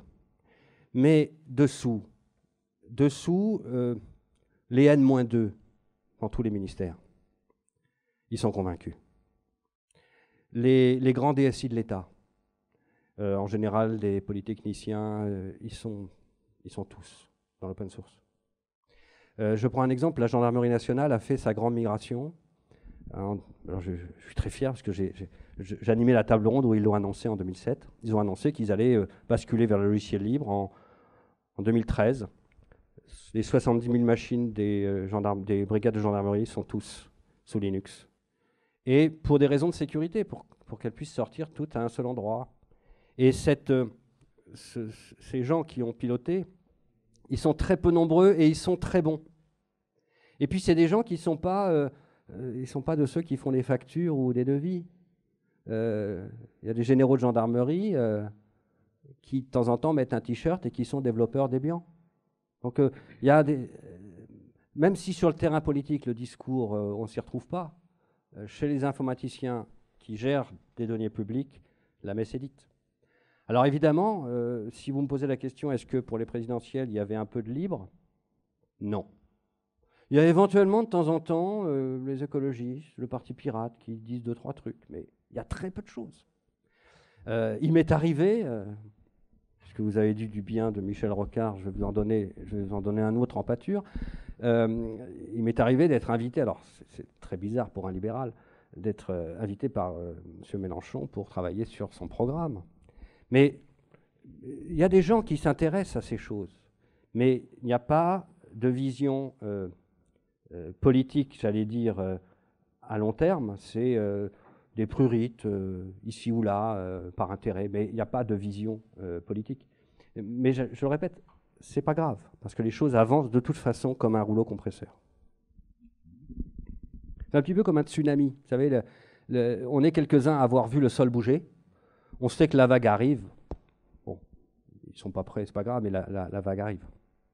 Du coup, internationalement, est-ce qu'il y aurait euh, des pays qu'on pourrait prendre en exemple et ou dans lesquels la législation ou en pratique, euh, on serait déjà plus avancé sur ces questions-là? Oui, la France. C'est le problème. Quand la Commission européenne euh, observe ce qui se passe, et alors un jour, mais les gens de la Dulac vont à la Commission, et puis on la Dulac était sur un, il y avait un grand tableau, et on était tout à fait dans un coin, dans un tableau qu'avait fait un gros consultant, et, et il dit mais pourquoi on est dans le coin? Et réponse pas parce que vous avez 10 ans d'avance. Donc effectivement, il y a des gens qu'on peut prendre en exemple, mais malheureusement c'est nous. Donc euh, on attend les autres. On est très observé. Et alors, ma, dernière question, c'était euh, sur euh, l'éducation, parce que vous avez beaucoup insisté sur la nécessité de formation. Est-ce que vous pensez aussi qu'il y aurait besoin d'insister d'autant plus à un éveil, à une formation dans l'éducation nationale à ces questions-là? Alors il y a deux combats assez différents. Il y a un combat pour l'enseignement de l'informatique. Alors c'est un combat qu'on mène aussi, que je mène avec ma casquette d'enseignant. J'ai été invité deux fois à l'Élysée, à 17 ans d'intervalle. La première fois, c'est parce que mes élèves avaient gagné un concours d'informatique. Et la deuxième fois, c'était 17 ans après, parce que la ministre allait annoncer qu'on allait réenseigner l'informatique. Donc il y a un gros problème, c'est qu'on n'a toujours pas compris qu'il faut enseigner l'informatique à tout le monde. J'allais dire, c'est pas grave, commençons par leur apprendre l'orthographe, euh, parce que les points-virgules, euh, quand on l'oublie dans, dans un programme, ça ne marche pas. Donc voilà, je plaisante, mais l'informatique pour tous. On n'a pas besoin d'enseigner l'informatique à très haut niveau. Euh. Il faudrait, mais euh, ils n'ont toujours pas compris qu'on n'a pas de cours intra-utérin, de numérique, et qu'en fait, les gens qui disposent de ces trucs-là pour jouer à Candy Crush, ils savent rien en informatique. Donc euh, j'en veux beaucoup à la petite poussette de Michel Serres. Non, ils savent rien. Et il faut leur apprendre. Il faut tout leur apprendre. Ce combat, il est compliqué parce que euh, ils comprennent pas. Les gens qui, en informatique, euh, les gens s'imaginent savoir parce qu'ils ont passé deux, heures avec une souris. C'est très difficile d'être prof d'informatique. Parce que vous avez des gens qui disent c'est pas ça que j'ai envie d'apprendre. Ouais, mais Coco, puisque tu sais pas, tu peux pas savoir ce que tu sais pas. C'est très compliqué d'e- d'enseigner l'informatique, je vous assure. Donc, effectivement, c'est un premier combat. Après, il y a un deuxième combat, c'est les outils qu'on utilise. Et là, j'ai une bonne nouvelle. Jusqu'à présent, l'éducation nationale était plutôt euh, un mauvais élève. On accueillait Microsoft avec un tapis rouge, on se faisait prendre en photo, on, on passait des conventions, etc. Un petit signe. Le directeur du numérique éducatif a changé récemment. Son pédigré, c'est intéressant, il a travaillé euh, avant sur le projet Copernic. Le projet Copernic, c'est celui qui permet de payer les impôts. C'est de l'open source du sol au plafond. C'est des gens qui savent très bien comment on prend le meilleur code et comment on passe le meilleur contrat de maintenance en tenant la bride courte aux entreprises. Et le nouveau patron de la DNE eh bien, euh, a organisé, euh, c'était le 1er avril euh, à, à l'ENS de Lyon cette année, il a organisé la première journée du libre éducatif. C'est la première fois que ça se faisait dans l'institution. Les choses avancent dans le livre, dans l'éducation, à vitesse grand V. Ça va me permettre de déployer du Linux dans toutes les écoles d'Angoulême. Voilà, c'est un scoop. Je n'ai pas réussi à le faire annoncer par la presse locale à Angoulême. Ils n'ont toujours pas compris que je les ai pourtant invités pour ça. J'aurais dit, ils ont, ils ont publié le nombre de machines, les écoles, et ils ont oublié de dire que c'était Linux. Ils n'ont pas compris. Oui, voilà. Voilà, les choses, les choses avancent de ce côté-là très très vite. Juste, je voulais ajouter au passage par rapport à ce que tu disais sur les élèves, justement, parce que ça fait partie des choses qu'on ne s'imagine pas forcément. Quand on est enseignant, on leur fait passer euh, PIX, c'est ça, là, tous les ans. qu'on leur- Et euh, moi, la première fois que je l'ai fait, euh, bon, je suis pas forcément féru d'informatique, je me suis dit, oh, les élèves, ils vont, être, ils vont tellement me dépasser, je ne vais pas comprendre ce qui va se passer. Dans la salle, il va falloir avoir l'œil partout. Et en fait, très très vite, je me suis rendu compte qu'ils avaient beau avoir entre 16 et 18 ans, en réalité, ils étaient complètement aliénés. Et ça, ça fait partie des choses qui, euh, qui nous intéressent dans les problématiques qui nous concernent. C'est-à-dire qu'ils ont un usage, comme tu disais, pour jouer à Candy Crush ou pour les réseaux sociaux, mais en réalité, ils n'ont aucune maîtrise euh, de l'objet et, de la- matière qu'ils utilisent. Quoi. Et donc là, on est vraiment dans un processus d'aliénation qui est extrêmement important et qu'on sous-estime énormément, puisque quand on écoute certaines générations, on a l'impression, effectivement, comme tu disais, qu'ils ont fait de, l'informatique intra-utérin, alors qu'en réalité, ben non, il y, y a une aliénation extrêmement probante, quoi, même s'ils sont tout le temps sur leur téléphone. Et ça, on le constate euh, énormément dans les classes, avec pourtant des, des, exercices qui leur sont proposés, qui sont des exercices extrêmement simples en réalité, quoi, dans les, dans les premières étapes. Euh, effectivement, vous avez parlé de la défense. Non, pas de la défense, justement, de la gendarmerie. Et je voulais vous poser la question sur la défense. Parce que on peut supposer que euh, l'objectif de sécurité, il est aussi fort en gendarmerie qu'en défense. Or, il est clair que euh, régulièrement, par exemple, euh, via l'association qui s'appelle l'April, ils font des, une écoute et en fait ils font la publicité et ils portent à la connaissance des gens la façon dont la défense réagit par rapport euh, à l'entrisme Microsoft. Or là, jusqu'à présent, euh, sauf information contraire que vous nous donneriez, c'est catastrophique. C'est-à-dire que est-ce que ça a un rapport justement avec la géopolitique et notre relation avec l'OTAN? Parce que là, on est très très mal parti. Alors, régulièrement, euh, l'April euh, se relaie cette, question. Alors, ça s'appelle Open Bar, c'est le, nom que, que prend ce- ce- cette convention supposée entre euh, Microsoft et, la défense. En fait, euh, il faut voir ça à plusieurs niveaux. D'abord, il y a un premier niveau qui est la nécessité pour les systèmes d'armes d'être interopérables. Et effectivement, euh, on peut se dire, tiens, on est, est re-rentré dans le, le commandement intégré de l'OTAN et donc on est verrouillé sous Windows. Il faut savoir que les gens qui pilotent les armées ont accès au code source. C'est-à-dire qu'il est hors de question d'utiliser un système même propriétaire sans l'auditer. Donc le problème ne se pose pas exactement de la même façon. C'est-à-dire c'est pas parce que euh, un, un navire est piloté sous Windows qu'il y a des backdoors. non, le système, il a été nettoyé, il a été audité. Enfin, c'est pas le même Windows que celui que vous avez. Donc, il faut, faut arrêter les fantasmes. euh, ce sont des systèmes qui sont pas exactement les mêmes et qui sont. euh, Alors, à côté de ça, il faut savoir que l'ANSI, l'agence qui s'occupe de sécurité, a fait développer euh, un Linux sécurisé. On a par exemple, avec un cahier des charges extrêmement strict, deux cartes réseau sur la machine, une carte réseau qui va sur des secrets défense et une carte réseau qui va dans le grand bain. Et sur la même machine, euh, deux parties complètement étanches. Euh, donc ça existe, il suffirait d'une volonté politique ou d'un besoin pour switcher. Donc voilà, il ne faut, faut pas être trop alarmiste. On a dans le, dans l'armée, dans la gendarmerie, des gens qui. Alors, ils font pas seulement ça pour des raisons de sécurité. La gendarmerie, par exemple, ils l'ont fait pour des raisons de pérennité des documents. Ils doivent pouvoir ouvrir les documents dans 30 ans, donc ils ont choisi des formats, euh, des formats ouverts. Puis, comme ils gèrent des données, euh, c'est aussi la sécurité des données.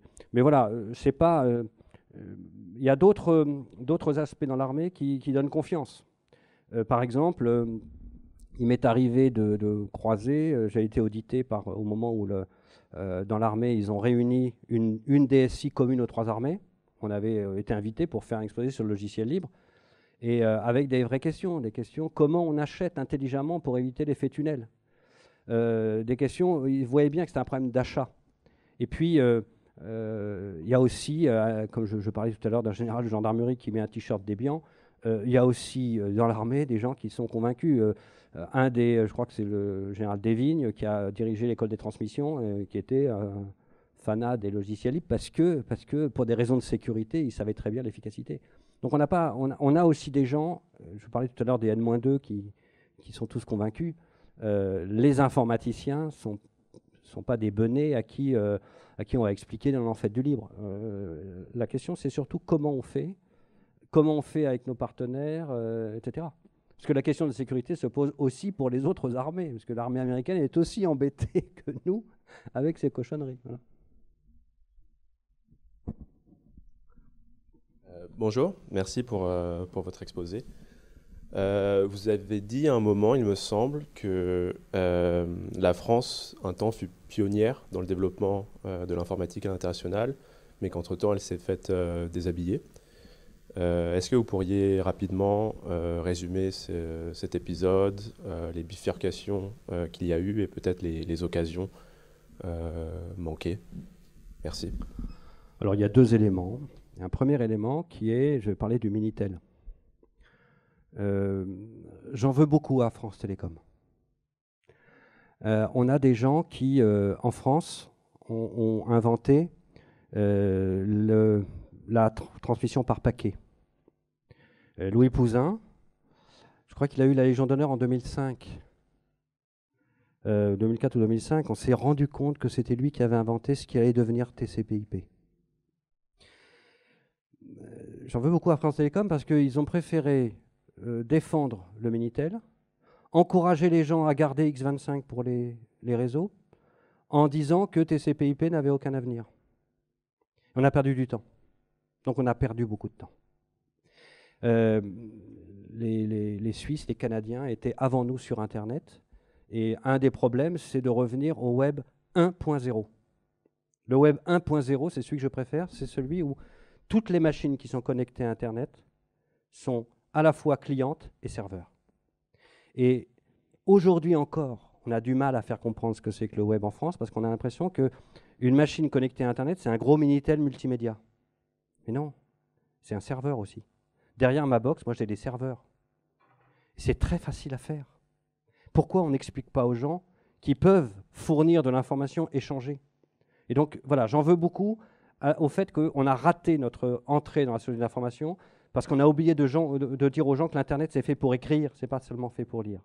Et, voilà, et c'est pas un gros Minitel votre ordinateur. Pas, il n'y a pas euh, un petit client avec un gros serveur. Un serveur en matière d'informatique, la meilleure image que j'ai, c'est deux bières. C'est ça un serveur. Je fais une requête, le serveur me répond. Mais c'est pas une grosse machine avec un cerbère qui garde la, carte, la, salle réseau. C'est pas ça un serveur. Sur cette machine, il y a une dizaine de serveurs qui sont en train de tourner. Il y a des serveurs web, des serveurs de mail. Sur toute distribution Linux, vous avez euh, plein de serveurs.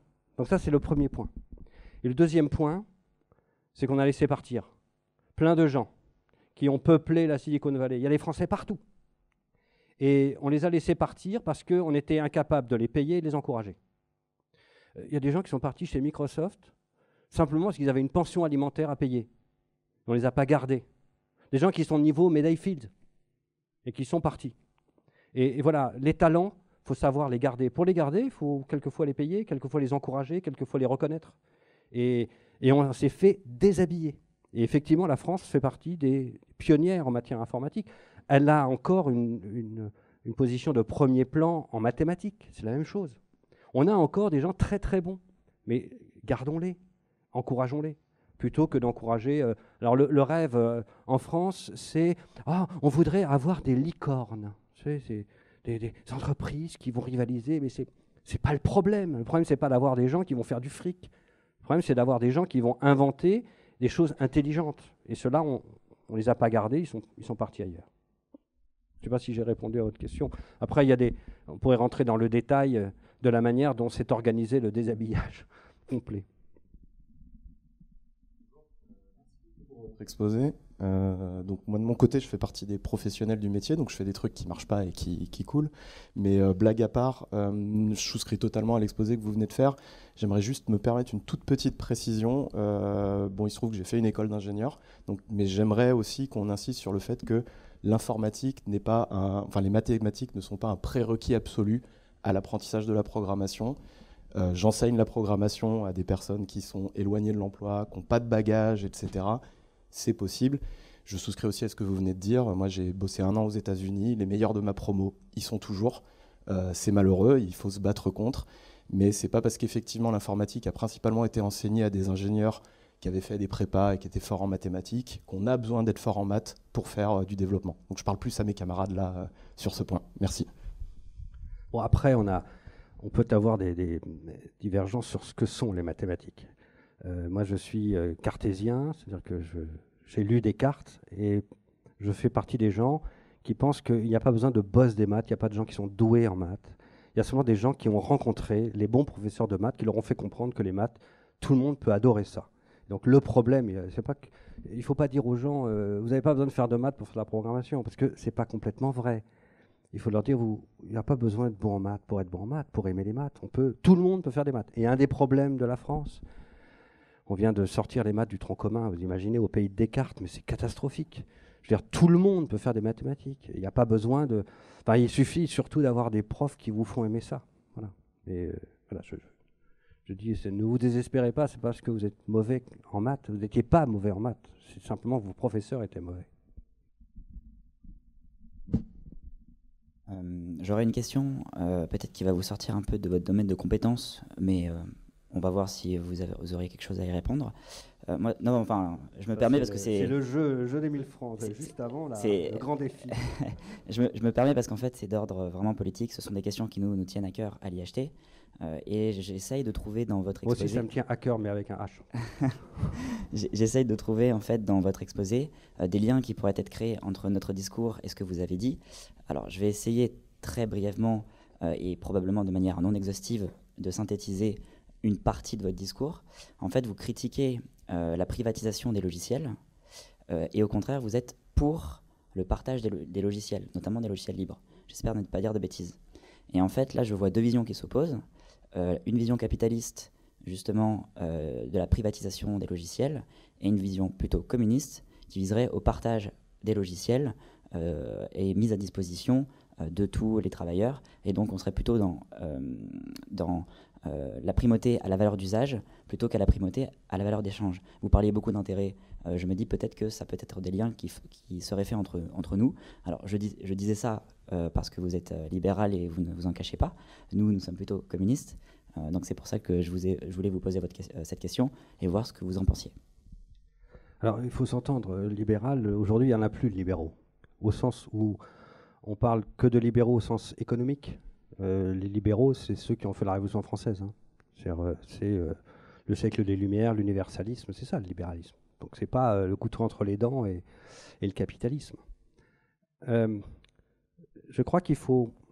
J'ai utilisé un mot tout à l'heure qui est le mot coopétition. si je reprends le vocabulaire que j'ai utilisé au début à propos du 19e siècle, bien sûr, il y a une séparation entre capital et travail. Mais ce n'est pas si simple ensuite de remplacer les, euh, les capitalistes par euh, un monopole d'État. Ce n'est pas si simple parce qu'après, la question, c'est comment être efficace.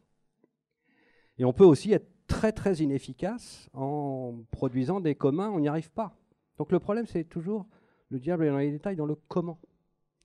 J'ai utilisé le mot coopétition. Ma vision de, l'économie, c'est qu'en réalité, on, on a tout faux en s'imaginant que tout est marchandisable. Que ce soit d'ailleurs dans le modèle économique capitaliste ou dans le rêve communiste. Qu'est-ce qui se passe en fait? Je suis convaincu, et il faut relire Jean-Baptiste Say. Jean-Baptiste Say euh, expliquait qu'il y avait des biens libres. C'est le mot qui m'a attiré, libre. Je me suis dit, de quoi s'agit-il? Il parlait de l'air, de l'eau, tous ces biens qui aujourd'hui sont marchandisés. Mais je me suis, j'ai creusé un peu la question j'ai travaillé un petit peu sur euh, le passage de l'époque féodale à ce qui a suivi. Lorsque lorsqu'on regarde l'époque féodale, on est dans un monde où il n'y a pas de commun, où les communs sont euh, en général compliqués à gérer. Il n'y a même pas d'espace public, il n'y a pas de route. À chaque pont, il faut payer. Et il y a des gens qui ont découvert que c'était plus rentable, à échelle macroéconomique, que ça produisait des externalités positives de laisser les gens librement passer sur les ponts. On va les financer autrement. Et on crée l'espace public, on crée des communs.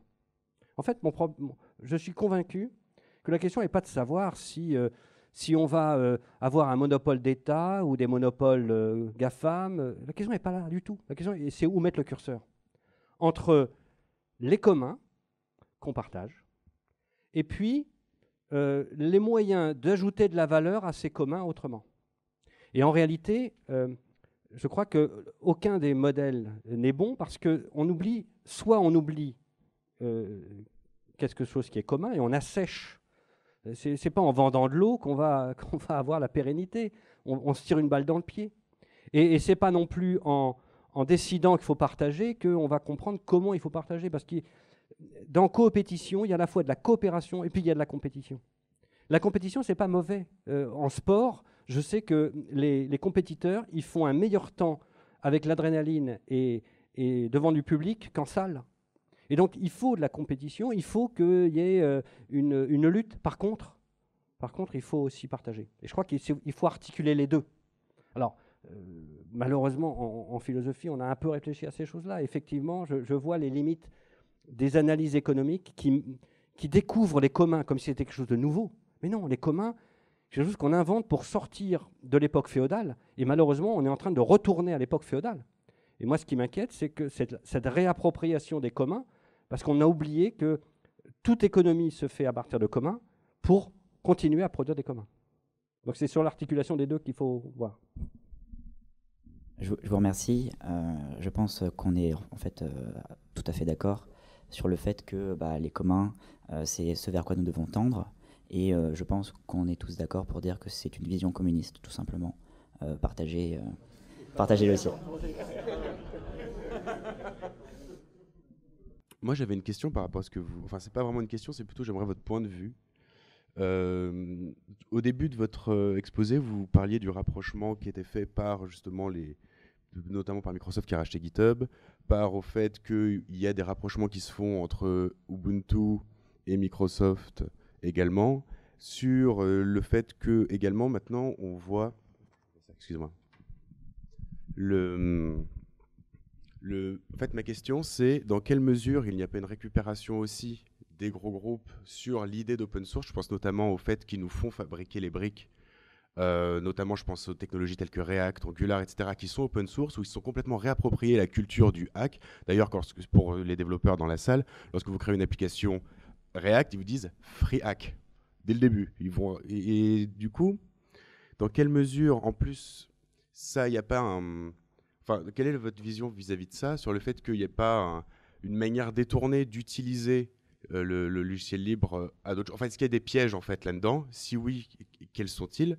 Et euh, notamment mettre ça en corrélation avec le fait qu'il y a une accélération des formés en développement qui, sont, qui ne sont pas des programmeurs, qui sont simplement des, techniciens hyper spécialisés sur les frameworks et les technologies développées par ces groupes, qui font qu'aujourd'hui on forme des développeurs, et je le sais parce que partie c'est en partie mon travail, donc ça fait partie des biais que je vois au quotidien, du fait qu'on forme des gens sur un laps de temps très court, quelques semaines, pour qu'ils soient tout simplement aptes, non pas à savoir programmer, mais à savoir fabriquer des features, soit des petites fonctionnalités pour, des, euh, pour, pour au final alimenter euh, ces frameworks sur lesquels l'ensemble de ces programmeurs qui, vont devenir, qui sont une majorité quantitative, euh, qui ne sachent plus sortir en fait des outils développés par ces groupes qui se disent mais du coup vu qu'on peut pas éviter l'open source parce que, mais du coup, comment est-ce qu'eux, ils vont faire pour surfer sur la vague?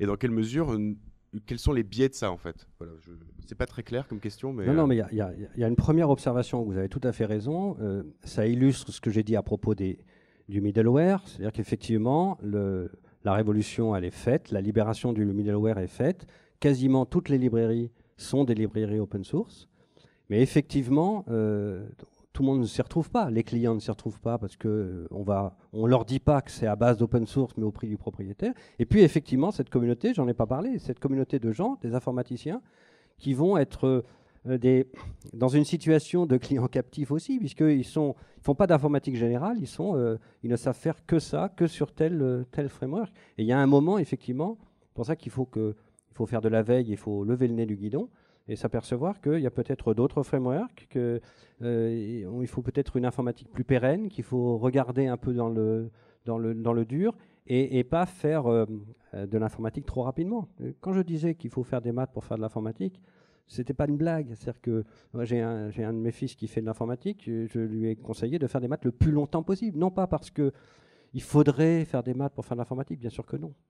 Mais pour faire une informatique qui permet qu'on peut dominer sans être verrouillé sur des frameworks, eh il faut lever le nez et il faut euh, euh, chercher ce qui existe d'autre. Mais donc faire de la veille et regarder ce qui existera dans 10 ans. Et, ce qui existera dans 10 ans, c'est euh, des fondamentaux. C'est pour ça qu'il faut revenir à des fondamentaux comme Unix, comme POSIX, des fondamentaux qui, qui, sont toujours les mêmes. Et qui sont, qui sont les mêmes depuis le début. C'est-à-dire apprendre à programmer en C, c'est, j'allais dire, le B à bas. Oui, et juste pour développer ma question, merci. Euh, et sur le, rapport au fait que euh, on alimente les, euh, notamment, je pense bah, aux technologies comme, Angular, React, qui vont permettre en fait d'alimenter les applications de Facebook notamment. au final, on se retrouve dans un double rapport où les gens vont travailler que là-dessus, et surtout comment on, enfin, c'est vraiment sur ce côté, quels sont les Est-ce qu'il y a une récupération de l'open source à ce niveau-là et comment on s'en prémunit par rapport à ces groupes-là? Alors, il y a quelque chose qui a, il y a une révolution silencieuse qui a produit des effets tout à fait pervers, c'est euh, l'utilisation massive euh, de l'open source en mode cloud et pour sur des plateformes de type euh, Amazon, Facebook, etc. Et ça aurait pu tuer l'open source parce que parce que pour le coup, il y a la disparition du logiciel.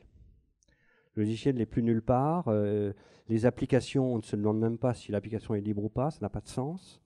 Et une des, réactions contre ça, ça a été euh, à l'occasion de la sortie de la licence GPLv3, la licence Afero, qui euh, impose que ceux qui vont utiliser du code publient les modifications. Et un des moyens dont les, communautés d'open source peuvent se défendre, c'est de mettre leurs euh, produits sous licence Afero.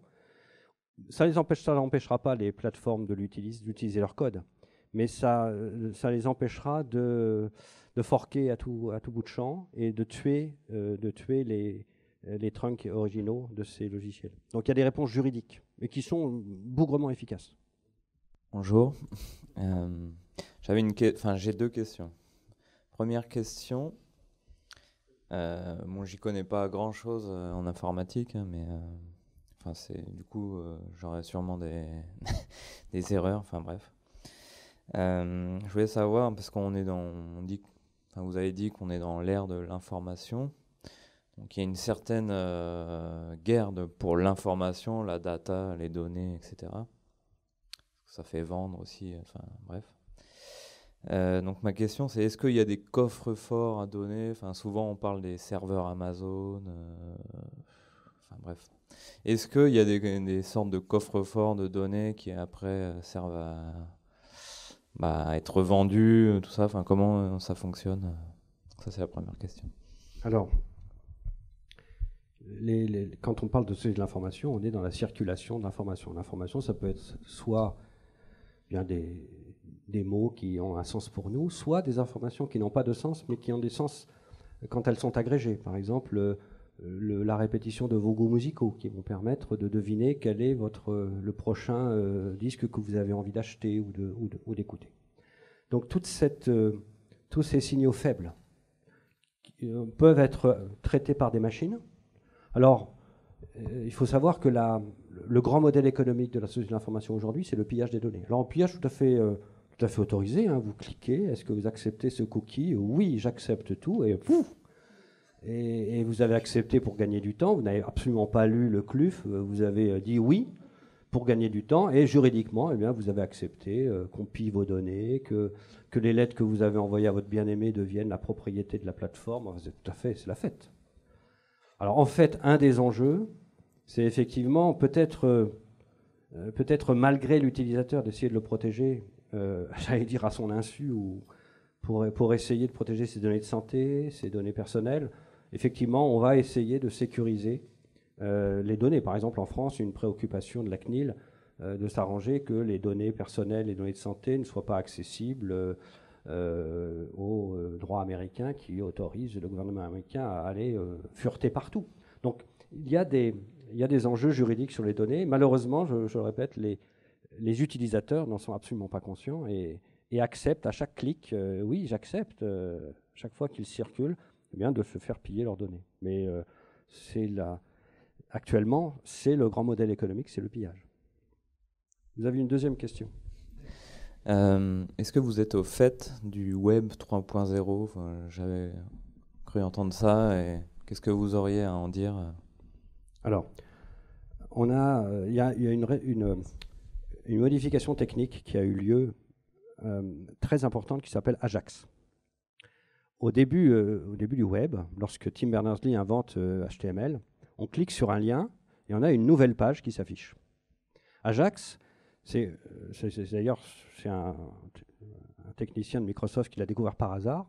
C'est un système qui permet, quand on clique sur un lien, de rafraîchir une, une partie de la page, une div de la page, et qui permet euh, d'abord d'éviter de, fatiguer les réseaux et de faire quasiment des applications, euh, des applications euh, en HTML extrêmement rapides, et, ce qui a été une très grande révolution. Alors ça a permis d'aller vers du transactionnel. Alors, j'ai- j'aime pas trop les, les, les 1.0, 2.0, 3.0. Vous avez compris que j'aimerais bien qu'on revienne aux fondamentaux. Donc, le web 1.0, je suis un jour, une heure seulement, euh, à la fois euh, client et serveur à la fois. C'est ça, le- fondamentalement, l'Internet. Plutôt que euh, ces web 3 2.0, 3.0, où on s'imagine que l'intelligence est dans le réseau. Non, l'intelligence n'est pas dans le réseau, elle est, elle est dans la possibilité pour chaque utilisateur de maîtriser les serveurs qu'il peut faire tourner chez lui. Alors bien sûr, il y a des, techniques qui permettent à des plateformes de faire mieux que des utilisateurs qui sont agrégés. Mais euh, revenons aux fondamentaux et arrêtons d'imaginer qu'à chaque fois, une révolution pousse l'autre. On parle maintenant de l'entreprise 4.0. euh, J'attends la 16.1, enfin je sais pas, mais c'est un peu du marketing tout ça.